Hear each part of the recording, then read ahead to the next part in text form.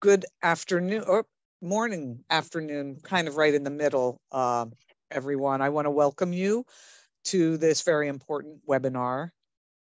My name is Cindy Brown, and I'm the secretary of the board for A Wider Bridge, and I'm also a mission alumni, which is a life-changing experience, was a life-changing experience for me. Uh, the topic for today is we're going to look at the current situation in Israel and how it impacts the LGBT community, specifically focusing on Jerusalem. And I'm coming to you from Miami, Florida. So here in Florida, we have an extremely conservative governor who has made his position uh, on opposing the LGBTQIA community at every step. And here in Florida, we are also experiencing a rash of anti Semitic behavior, even in places like Miami Beach, which currently has a, a high percentage of Jewish residents. People are finding uh, anti Semitic hate and flyers in their mailbox or graffiti or big signs put up in the street. So it's it's definitely an issue that is concerning to a lot of folks all around the world. But we're going to talk today about Jer- Jerusalem. So just a little bit of housekeeping. This is a webinar format. So only the panelists' audio and video will be on. And if you have any questions throughout this webinar, please use the Q&A box. We will have time for the questions and answers at the end of the hour. So please use the Q&A box. Don't use the chat uh, because we'd like to keep them focused into the Q&A. So now it is my distinct pleasure to introduce Shira Prus, she is the newest staff member for a wider bridge. And we are so excited that she's our new development director. Shira has a personal, uh, she's personal to the issues we're going to discuss. She lived in Jerusalem for seven years and worked for Jerusalem Open House from uh, 2006 to 2010. So we're we are so excited to have you as part of our uh, a wider bridge family, Shira, and um, I'm excited to announce you as our moderator for today. So I am going to hand you the baton, and Shira, you can take it from here. Thank you. Thank you so much, Cindy. And thanks everyone for coming. Um, I am You've heard a, little bit about me and you're welcome to check out my bio. I think it was just shared on a wider bridges Facebook, but I think the most important thing to know about me today is that I have a really, really big place in my heart for the Jerusalem Open House. I feel that um, it's a place where I personally was able to grow so much and gain so much, and I I have I hope that I can only spend um, all of my years giving back to the Jerusalem Open House because I understand how important it is from firsthand. Um, and, I, and I'm, I'm really excited to be able to talk about uh, what's going on in Jerusalem today with both of you because like many of us in America, I'm based in New Jersey now. I lived in Israel for 15 years.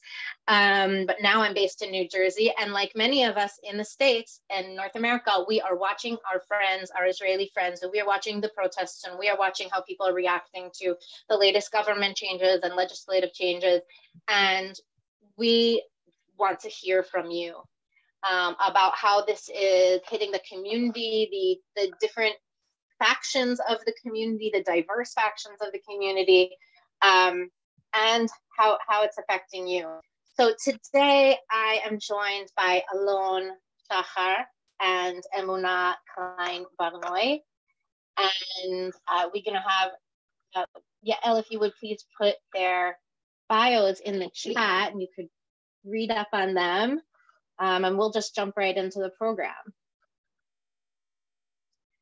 So um, I'm going to start my first question. I'm, I'm, I'm going to open for Alon, but please jump in. Whoever has the right answer, you guys know uh, who has the right answers. So Alon in the state, you know, as I was just saying, we're seeing a lot of protests and even conflict between the police and pro and, and protesters. Um, can you give us some background on why people took to the streets and what is the energy like right now in Jerusalem? Sure. Thank you, Shira, and good morning, everybody. Um, it is a pleasure to be here, and thank you, Wider Bridge, for hosting us. Um, so a little, a little bit of background. So Israel has now a new government for the last couple of months, and it, it is definitely um, the most religious, far-right, anti-LGBT plus um, government in the history of Israel. Besides that, our government now is pushing through the Knesset a plan, a plans to change the balance of power between the three branches of government, and they do it quite um, strongly and significantly and aggressively, yeah. And this legislation um, basically gives the Prime Minister of Israel and the government a power to override the Supreme Court decisions um, and it also limits the court's ability to strike down legislation um, that basically infringes human rights and civil rights um, while giving the government complete control over ju judicial appointments. So, um, so you can only you can only imagine how um, frightening it is. Um, and the plan is criticized by almost the entire legal establishment and attorney general and Supreme Court chief and many former justices. Um, and everybody calls it a threat to Israeli democracy. Um, at the same time, there's a, a, controversy okay? Um, not all citizens of Israel think the same. Um, and and we at, at the Jerusalem Open House, we, we acknowledge this fact, even though most of the Israeli LGBTQ plus organizations are um, um, publicly opposing this plan. Okay, some people call it uh, ju judiciary reform, some call it judiciary revolution to emphasize the significance. So this is a little bit of a context. So many of our folks around the country um, are basically afraid and feel uh, that it is um, dangerous for the LGBTQ plus community um, to experience this, uh, like the consequences of this plan. And we in Jerusalem, we um, we acknowledge the controversy, um, and we think that the most important aspect now is um, to provide our community with the sense of stability and the and resilience that we work so hard uh, around the year um, 365 days a year to create um, for the community that struggles all year around and along to um, to sustain and and and prosper. Um, and we we see this uh, period of time um, uh, as part of a of we usually, we usually call it a marathon right? So it's like this a never-ending struggle to live and exist in Jerusalem, live as ourselves, and we um, we um, conceptualize this period of time as as a time where we need to be the most resilient we can for our community. And we intentionally do so. We do not ignore the reality. We understand how uh, risky this uh, period of time is for um, the um, the weakest part of our community, the most marginalized uh, and underprivileged groups in our community are now under higher risk um, to lose what they have. And, um, um, and with this acknowledgement, we um, we believe that our role now is to be there for them and keep do what we do um, when their lived experiences are the, will be the least um, shaken and at risk as, as they can be. Um, I will uh, maybe say that we also uh, feel that it is our responsibility in the current situation. Um, it's interesting to say this in a wider bridge in, in a wider bridge uh, webinar, but um, since uh, queer people come from all uh, political stances, we do see ourselves as sort of a bridge at a time when uh, public discourse is becoming very populist and very um, inflammatory to to be uh, a source of, of you know reason, calm, empathy, and understanding in in the Israeli political situation. Thank you. Um, it's you know, I'm hearing the words that you're using, stability and safety and, and keeping the community together. And, um, you know, for me, I'm remembering times when I went to court and I heard now a member of Knesset, Ben Gvir, um, you know, defending uh, Yishai Schlissel. So just starts there. His his um, his career is full full of these um, really uh, homophobic moments. Uh, and not only that. And so I wonder how, how are you working towards this stability? Emuna, maybe you can um, tell us more about how, how this moment is impacting the most vulnerable communities in Jerusalem, in, in, in our community, and um, and what are some of the ways that you are creating stability in this moment? So I will say that, um, like Alon said, we do realize how negatively our community can be impacted by this government. We take it seriously, and we are, uh, and um, and one of the reasons that we're working towards resilience and stability is that we believe that the um, the harmful impact of this government could last quite a while um, and we don't we're not preparing for a sprint we are preparing for a marathon so we do also want to conserve the energy of lgbtq plus activists uh, that we work with in order to um, to create a long like to, to create a long time a, a long a, a movement against uh, whatever it, it is to come.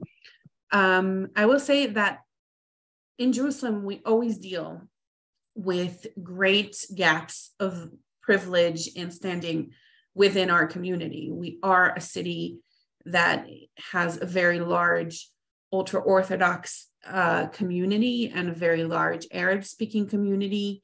Uh, the residents of East Jerusalem are some of the most underprivileged uh, people in in Israel, but also the LGBTQ plus people within that community deal uh, with even more complex layers of oppression within that.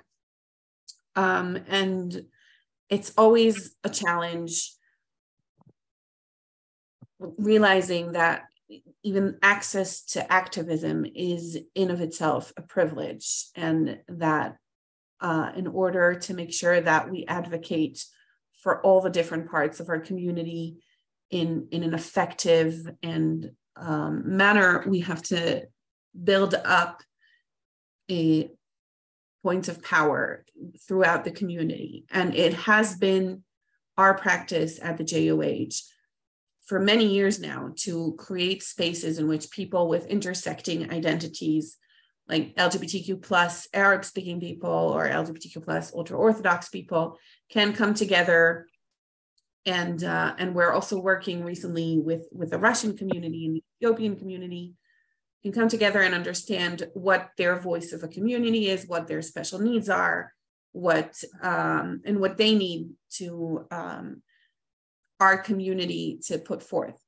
So um, as you know, the, the, the most obvious things is that as uh, LGBTQ plus phobia becomes more and more normalized and people who are very uh, very much appear queer uh, are exposed to more violence, but also it is more complicated for people who come from very anti-government uh, spaces to reach out for help. On the other hand, this political environment is also a form of PR for our organization because um, religious le- leaders and political leaders of very conservative communities uh, speak very openly against the Jerusalem Open House. And we do find more and more people from communities without access for the internet, for in, uh, for instance, whether it's due to issues of infrastructure or, do, or it's a religious choice, do hear about the Jerusalem Open House and they come to us now. Um, and our hope is that uh, by working with these people coming to us now and uh, helping them build their um, their you know political backbone and their ability to say what they need and what they want and building them up to positions of power within the community we will be able to strengthen uh, our resilience on one on one hand and also broaden the services that we offer these communities Thank you. That's beautiful and fascinating. Um, and and continuing in that in that um, direction, can you tell us a little bit about what the last few couple of months, few weeks have been like for the Jerusalem Open House? Uh, call, do you have more people showing up, calling hotlines? And like you said, there's a moment of PR when Haredi Rabbi mentions the name of the Jerusalem Open House.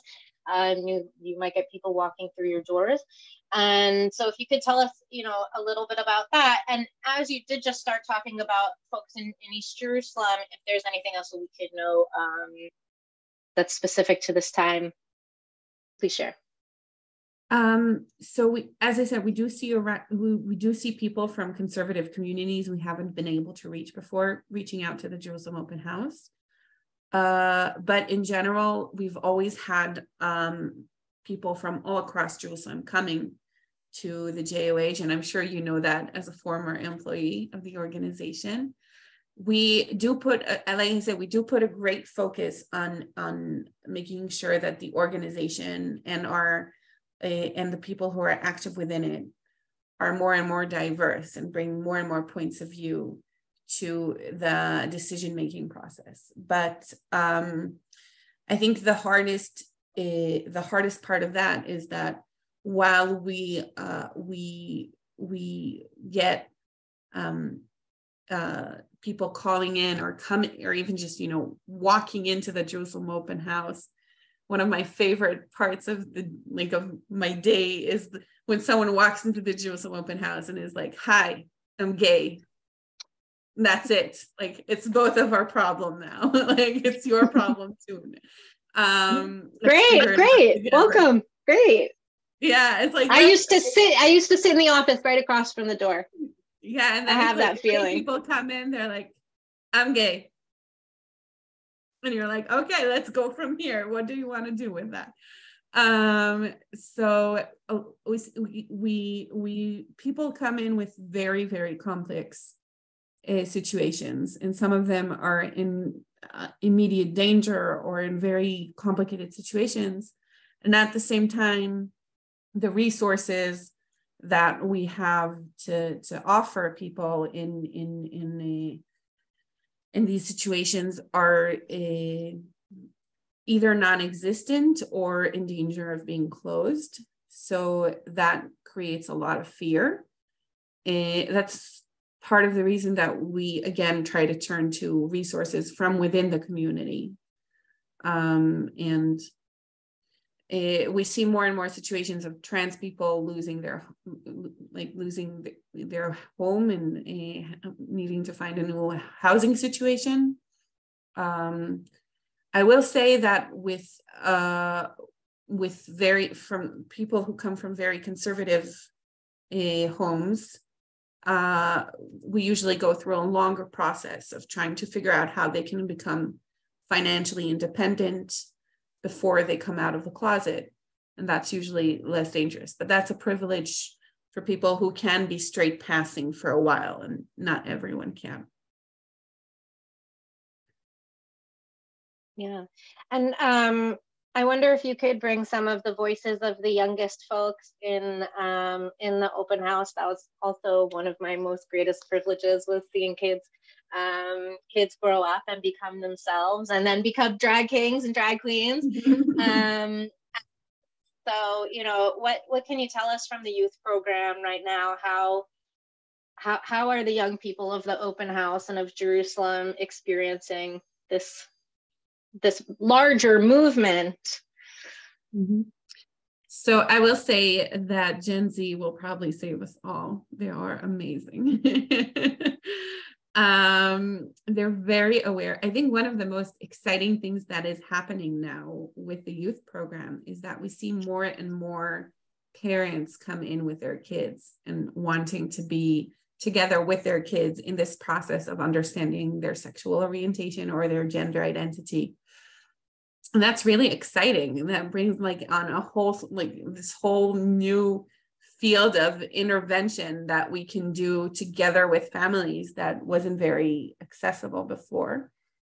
Um, but we see people coming out of the closet younger and younger. We've actually lowered the the starting age for our groups this year, and um, and I think they are very much afraid uh, uh, within within the the the the, the current political situation They have a lot of questions about it, a lot of uh, a, they look for a lot of uh, information, which you know is hard to. It's it's it's just very easy to access information when you grew up in this day and age, but it's very hard to access accurate information.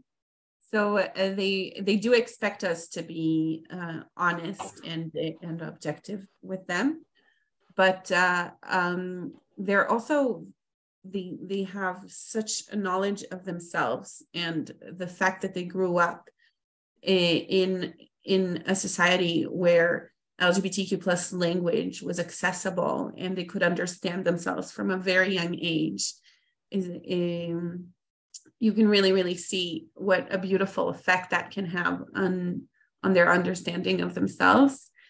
So um it's it's very interesting to see how how much they they know that they deserve the respect of other people and they know that they deserve basic human rights. And you know they know it to their core which i think for very long um, people from the lgbtq plus community had to come into that realization once they became activists a lot of us still out here working on that realization i think so yes they're like i deserve respect i deserve, I'm like yes I, have been preached onto by like 12 year old baby gays. And I'm like, yes, yes. Wonderful. that's um that's that's good to know. They're gonna need all that confidence and all that strength. Um, mm. That's really beautiful. So we're gonna change. I want to change the the uh, conversation a little bit to focus on something that I know that's on a lot of our minds um, at a wider bridge. Uh, we want to talk about the upcoming Pride March in Jerusalem, um, or as I like to call it, my family reunion. Because I just love this. I just love this march. Don't tell anyone, but I've never been to the Tel Aviv Pride March. Um, and Jerusalem was my home, and, and I went for over 10 years um, while I was living in Israel every year, in and out, seeing, um, seeing how the community grows and how the community changes, and, and what an honor to be there, whether marching with my own child or marching with a walkie talkie and in touch with the police. It's been um, always for me just a highlight. So, um, what can you tell us about the upcoming Pride? How is it going to be impacted by these protests and the interactions with the police, which have always been, always over the long period of time, have been uh, contentious and not not simple. So, what's the plan? Yeah. So the march is going to take place on June first. Um, it's Thursday. Um, afternoon. And we expect big audience this year, probably bigger than the last couple of years. And probably we, we hope um, the biggest march ever in Jerusalem. Um, yeah, like the political situation, even before the judiciary um, thing now, yeah, right before the government was born, um, we heard uh, now Minister uh, Itamar Ben-Gvir saying he would seek to ban Jerusalem Pride March, right? And um, and we we do believe that Ben-Gvir and his colleagues and friends will do the best they can um, to to cancel in which, you know, whatever ways we can imagine to cancel the Jerusalem March. And it's not an easy um, thing to do, considering the fact that the Jerusalem March is a demonstration, um, as opposed to the Tel Aviv Pride Parade, um, which is a cultural event and is organized and funded by the Tel Aviv municipality. The Jerusalem March for Pride and Tolerance is um, is a demonstration. We go to the police um, to make sure they um, protect us, and we go to the municipality of Jerusalem to make sure they allow us um, to use the public gardens we use at Gan HaPa'amon and Gan Ha'atzmaut in Jerusalem. Um, yeah, so so let's put it this way: if you hear like around May, like in in the couple of weeks before June 1st, that there's again this conversation about um, banning on or, or, or canceling the Jerusalem March, the Jerusalem Pride, um, you will know for sure that there is a big problem. Like if if a, if the right to demonstrate and to protest is in danger, then the Israeli democracy is really in bad place. Right, but putting that aside, um, we do expect big audience. We do expect a wider bridge uh, mission to join us, which is really exciting. And I know you still, uh, your mission is still open for registration. So I really encourage those folks who considering this to join the mission. Um, and we hope other communities um, will be inspired by the wider bridge uh, ambition uh, and support of us in this sense. We do expect also um, bigger national and international um, attention this year, even more than usual. And you all know how um, the Jerusalem March is um, attracting attention every year. Um, so this year it's gonna be bigger and we do we do expect new challenges in, in terms of the new government and, and what they can do. Um, we, to be honest, we don't really, like, we're not afraid. I mean, we know that the Jerusalem March will march in whatever cir- circumstances will be.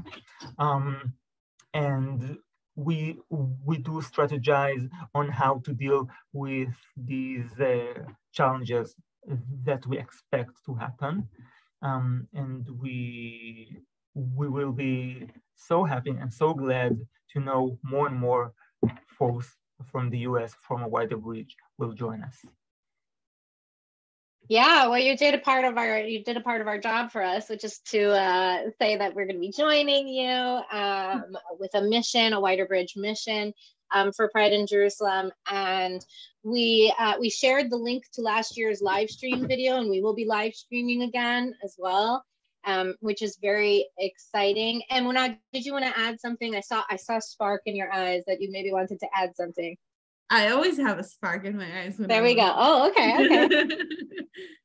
uh, yeah, it's gonna be it's gonna be a, a very big this year.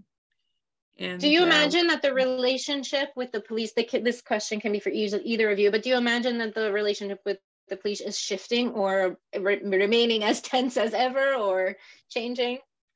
Well, we we are working very closely with the police to make sure that uh, the march is safe. Um, it's always a challenge working within an organization which is very uh, conservative and militant, and the, just what the police is.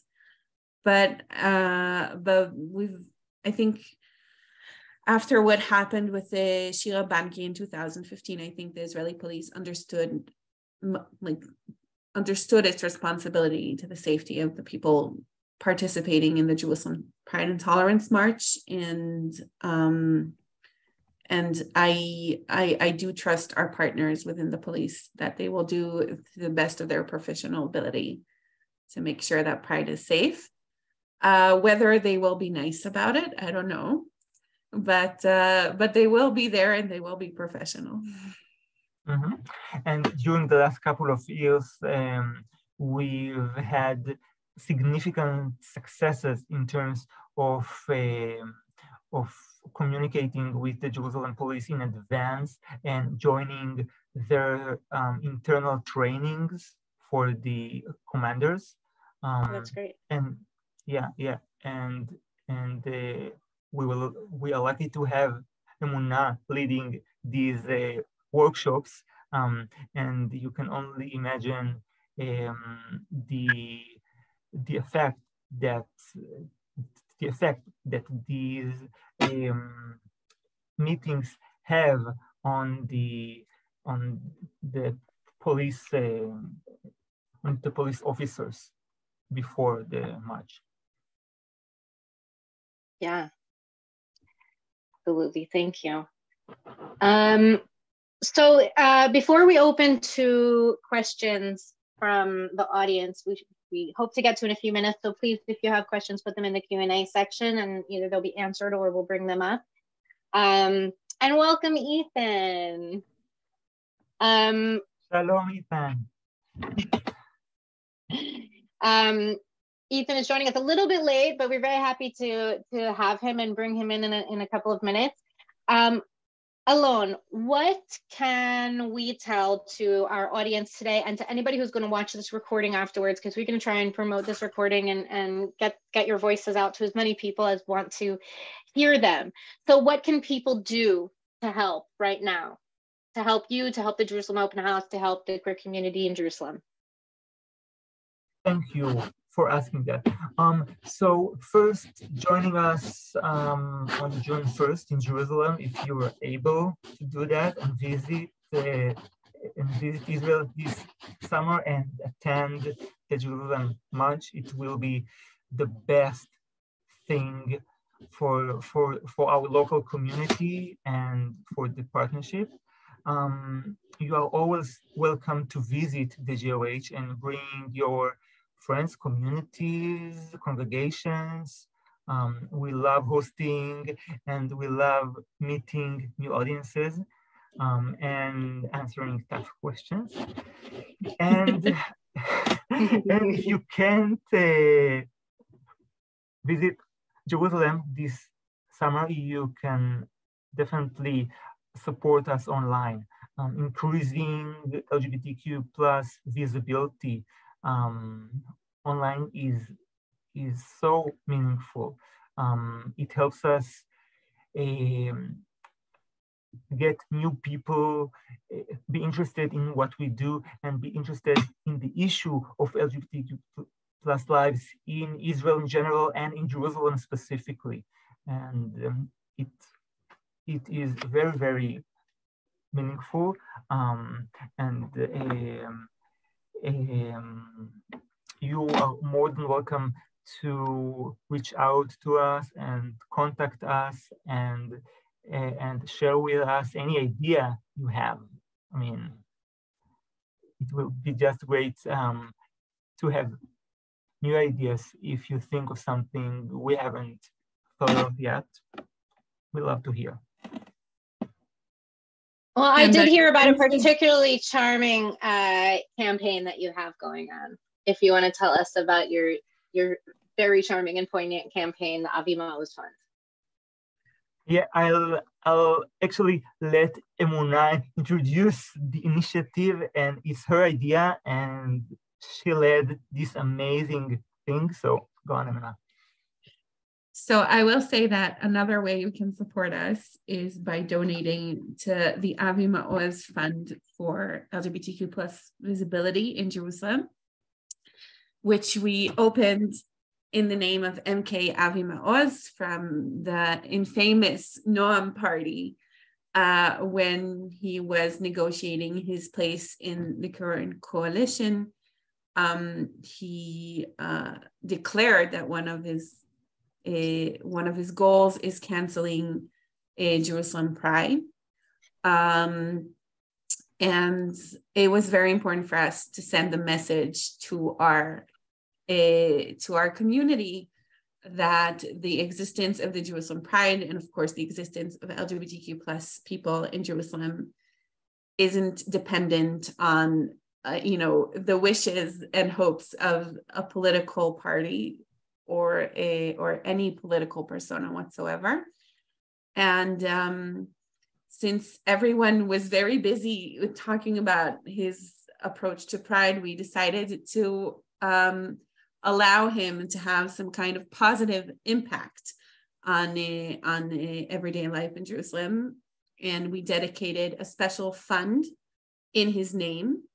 Um, we wrote him a letter of thank you for his participation in raising awareness to LGBTQ plus issues and LGBTQ plus organizations.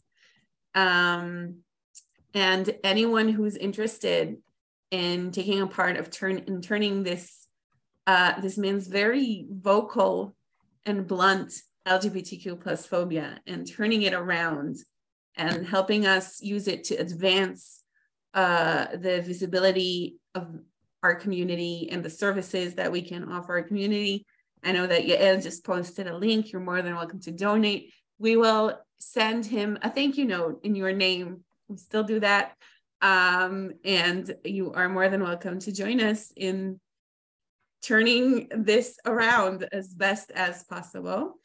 And I will say that it was a blast working on this campaign, and we all had a very it was like a breath of fresh air to be able to laugh about this. And it's also something that I want to invite all of you to do. It was our choice not to participate in his political spin and his, you know, his PR campaign, but turn it into our, our own. And um, and it's something that we invite you all to do.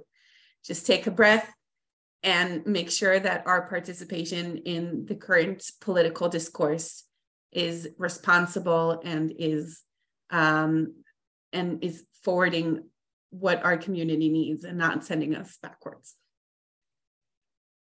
I love that. I love that.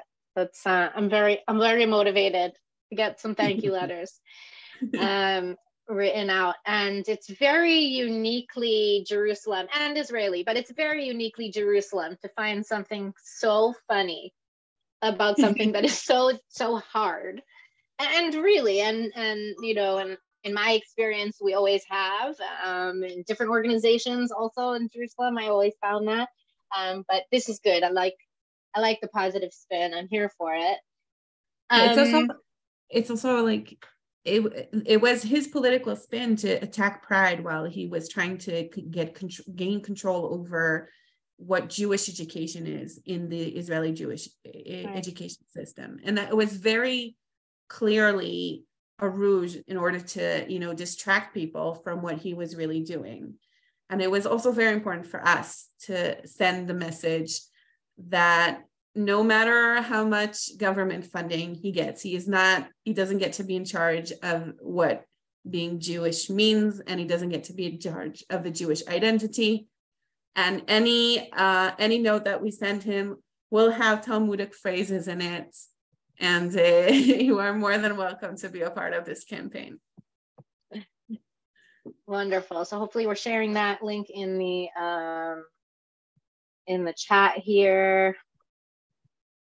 Um, we, I want to open up. I got some in my direct messages. I got some of the Q and A's. Cindy, want to bring Cindy back? Yes, yes. So um, we've got a couple questions that were asked during this very, very interesting conversation. And before I go to the questions, I want to thank all of the the panelists for for sharing um, sharing what they have shared. So here's uh, one of the questions. The Speaker of the Knesset, the third most important position in Israel, is openly gay.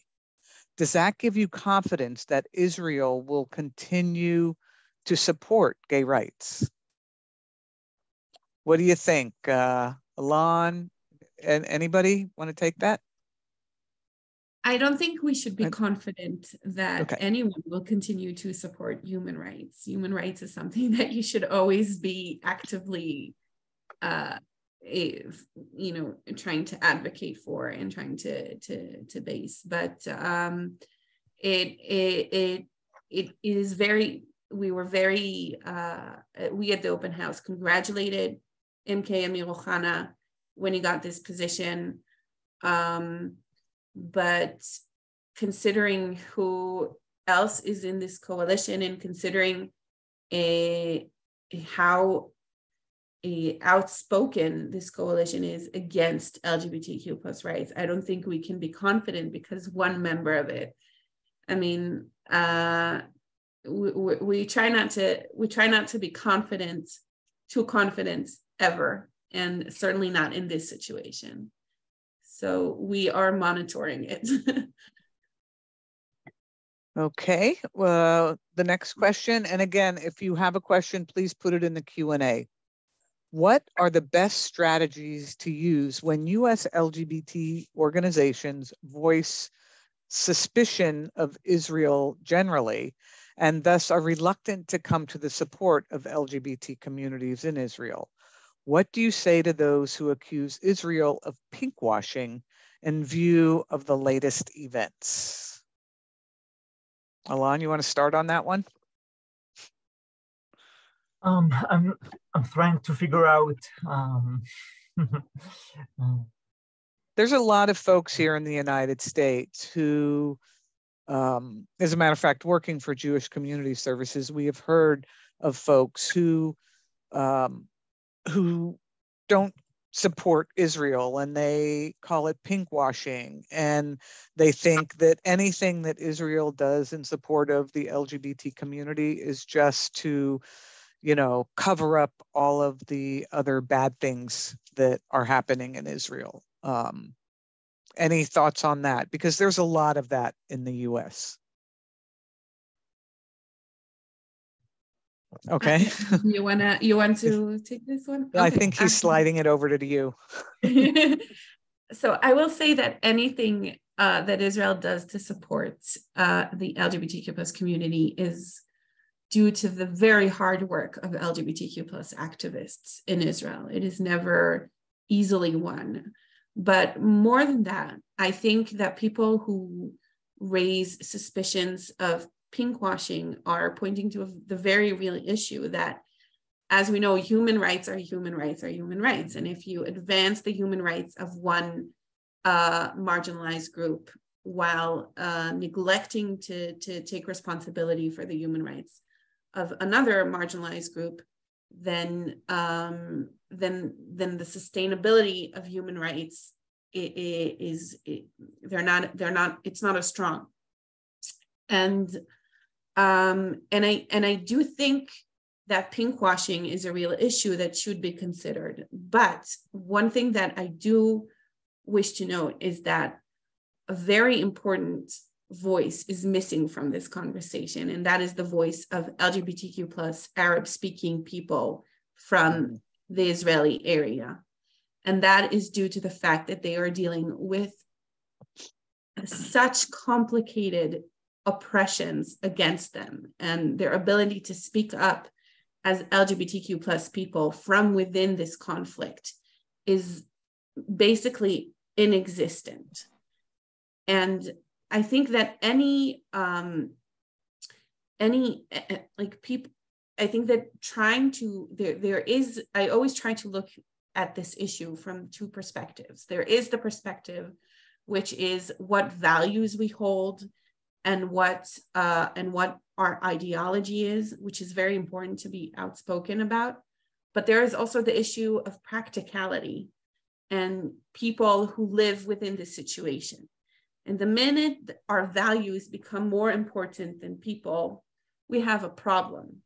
Within this conflict, there are people, LGBTQ plus people, who are dealing with serious issues and um, and want and and and the fact that the advancement of queer rights in Israel involves some pinkwashing is a very complicated fact of life at the moment. It is something that should be taken seriously, but it can't prevent us from wanting to support the advancements, the advancement of human rights in Israel. It's like counteractive.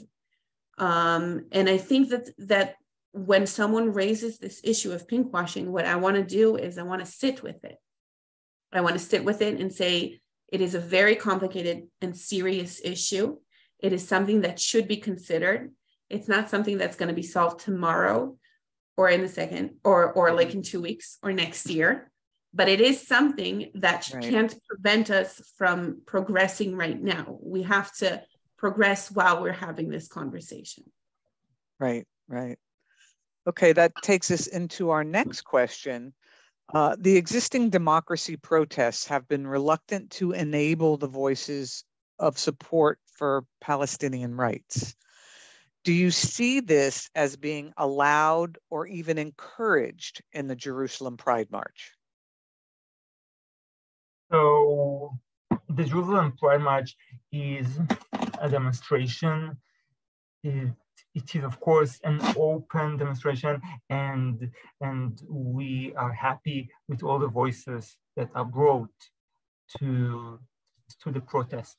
And it definitely includes um, anti-occupation um, messages and it includes a large spectrum of, uh, of views. We don't monitor and we don't control the messages that are brought up in the Pride March. We believe the more diversity is, uh, the bigger it is. Um, it like it is more authentic and and basically brings to life the messages and the values that our community has. Uh, so any other thoughts on that? answer is yes. Okay, perfect. Excellent. Um, In my experience, one of the most uh, one of the most beautiful things at the Pride at the Pride March in Jerusalem is the diversity, and I I am very impacted. And, and one of the things that I'm taking away from this conversation is definitely what Emuna was also just saying, um, and and I remember this very much. But that there is such an added oppression on Palestinian folks in this situation that um, that to take for granted that they could that that anyone who wants to can march without uh, a sense of danger when you're talking about someone who's Palestinian lives in East Jerusalem. Um, you know that's that's very significant, and I I appreciate that that point a lot. Yeah. Um, what efforts have been made to form alliances against the threats from the extreme conservative religious government with the, with the Israeli secular community, women's groups, reform and conservative Jews, etc.?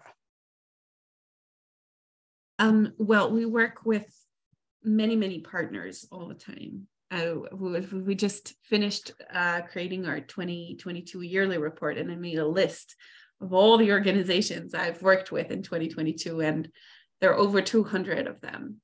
Um, so uh, I, I don't think I think it's a relation. These relationships are relationships that we've been holding uh, over time. The Jerusalem Open House always stood for values such as equality, feminism, you know, gender freedom, sexual freedom. That is our DNA um, and we are working with the civil or like with civil organizations in this climate as well.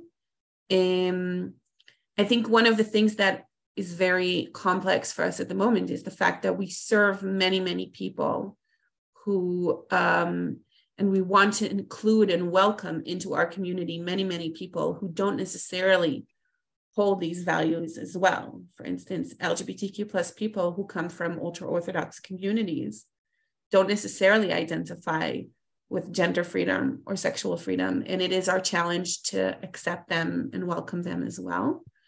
But we've always worked with partners from women's organizations and all, all of the above. Excellent. Alon, anything to add to that? No? Okay. um, we hear a lot about the possibility of a new intifada, which I had to look up, so I'll define it for folks who might not know what it means. Uh, Palestinian uprising against the Israeli occupation. Um, so we hear a lot about the possibility of that. How are Jerusalem Open House, Arab Israelis, and Palestinians talking about this one? Are they talking about this one. Uh, um, I am not privy to their conversations. Right. Okay. What they do share with us is that they are very afraid. Um, mm-hmm. Last May, we had we had to suspend some of our Arab speaking services because um, those are our you know our community members from East Jerusalem couldn't not last May, the May before that, May 2021, mm-hmm. um, couldn't safely come to the Jerusalem Open House. And um, and I think, like I said, what we're trying to do is make sure that our connection with those community members stays strong and continuous throughout any challenges that may come. Um, they are very afraid. I think for many people, the challenge with coming from a very homophobic and transphobic background mm-hmm. is in moments like this being proud of the community they grew up in, the culture that brought them up. And we try the best we can to give them space to reconnect not only with their LGBTQ plus identity, but with their Arab identity as well, which can be very complicated in this city, in this setting. Yeah. Alon, anything to add? No? I have the best partner here ever. awesome. It's always good to have a great partner. Um, Alon, you addressed this a little bit, and this will be the last question. Uh, but with the question, maybe you have a little bit more um, thoughts. We hear mixed opinions from Israelis about the proper role of US Jews. That what is happening there is not our business, and that what's happening there is is of concern to all Jews everywhere. What's your perspective on this and how can US Jews best support you? Like you address this a little bit, but in terms of the over overall question. Yeah, I would like to quote uh, one of my favorite singers, Sting. He has this line uh, where he says, I don't subscribe to this point of view, right? So I don't, don't subscribe to this uh, um, a, the sentiment that we've heard from Minister Amichai Chikli saying to the US, mind your own business. Um, I strongly oppose this. I think um, the bridge we work on and we believe in, and this is why we partner with a wider bridge and with many partners around the US and the world. Um, the bridge between um, us in Israel and, and Jewish folks and communities around the world is so important and vital for our future.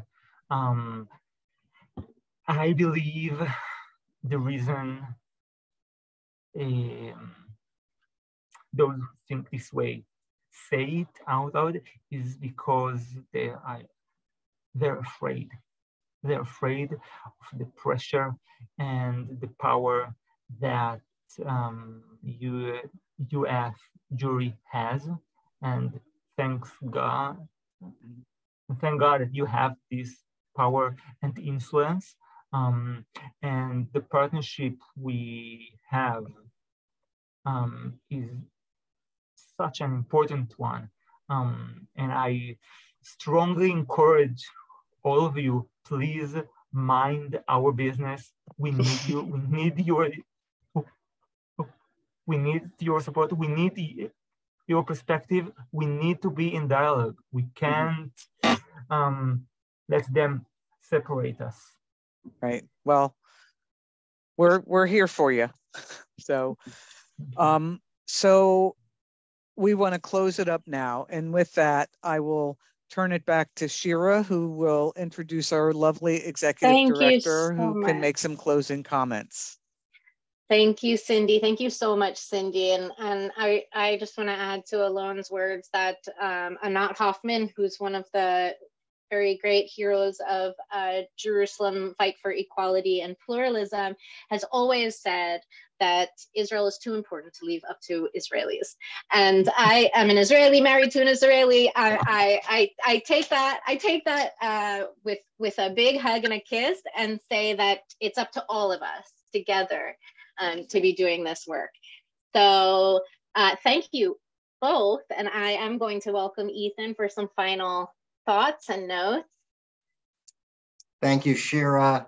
And thank you, Cindy, uh, for leading this conversation. And Alon and Emuna, thank you very much for your wisdom and your kind of calm reflection during a, a time that is anything but uh, calm. You really help us to, to navigate a very complex situation. Uh, and we're so grateful for everything that you do and our partnership with you. Um, I want to just say to everybody who's been on this important uh, webinar, uh, thank you for being with us and stay connected. Look for more information about programs like this that are educational, communications that we're going to send out, keeping people uh, uh informed. If you have an interest out there in joining a wider bridge on one of our missions, please let us uh, know. I want to flag for people that we're going to be doing a very interesting program in a couple of weeks on a book by Corinne Blackmer, Queering Anti-Zionism. So keep an eye out for that. And the most important thing I want to say is uh, there is an urgency to this moment for all of us in the Wider Bridge family uh, to do more. And I, I want to focus attention particularly uh, on our impact grants program. We gave $180,000 last year in impact grants to 20 different organizations. Please understand out there that these organizations have dramatically increased needs. Public expressions of homophobia have increased. Calls to hotlines are through the roof. Groups like Jerusalem Open House and the other LGBTQ organizations are organizing people for protests. They need more resources um, for lobbying because funding that they thought was secure may not be secure. And so keep posted. We're going to make an announcement about our impact grants program and the fact that we need to do more. And please be in touch with us if you are listening to this program and you have the capacity to help Israeli LGBTQ. The moment is now. The needs are now. We need to reframe our understanding of the Israeli LGBTQ community as, as having a particular vulnerability in this moment and time. And we can and should continue to celebrate all of the accomplishments but we have a responsibility to be there to ensure that they can continue to do what they need to do to protect the most vulnerable in the LGBTQ community. So again, thank you to our panelists and to all of you who are with us today. Stay tuned. Bye-bye, everyone. Thank you. Happy Purim. Thank you. Happy Thanks so much. Yeah.